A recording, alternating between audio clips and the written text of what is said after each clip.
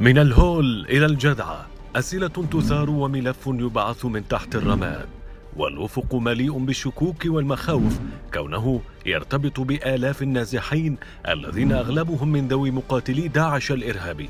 وقبل المضي مع الملف لنعرف أولا ما هو تاريخ مهيم الهول.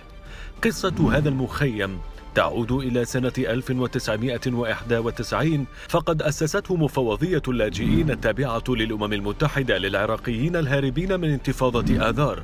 وانضم له الفلسطينيون لاحقا وبقي المخيم قائما حتى عام 2011 ليستعيد أهميته مع تصاعد الأحداث في سوريا ومع ظهور داعش واحتلال نينوى ثم دحره وهرب عوائل مقاتليه عاد المخيم ليمتلئ بالنازحين حتى تجاوز عددهم ثمانين ألفا بينهم سوريون وعراقيون وأجانب لكن ما الذي أثار الملف؟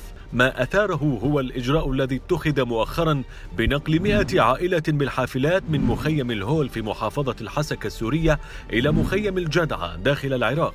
ما قيل هنا كثير ويدعو للتوقف فبعض التقارير تحدثت عن نية الحكومة العراقية بنقل ما يقارب ثلاثين ألف نازح في الهول إلى العراق. ومن المفترض أن يتم النقل على شكل دفعات أولها التي رأيناها مؤخرا. أول المعترضين على هذا الإجراء هم الأيزيديون الذين يتخوفون من عودة عوائل داعش لارتباط آبائهم بمأساة الأيزيديين وسبي نسائهم.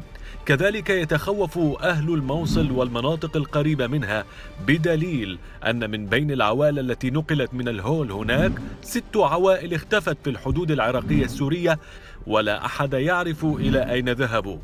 عدا هذا تعاني المخيمات من إهمال كبير بدليل ما جرى قبل أيام من حريق بمخيم في دهوك نعم هو ملف شائك مليء بالشكوك ويحتاج من يجيب على أسئلته فهل هناك إجابات؟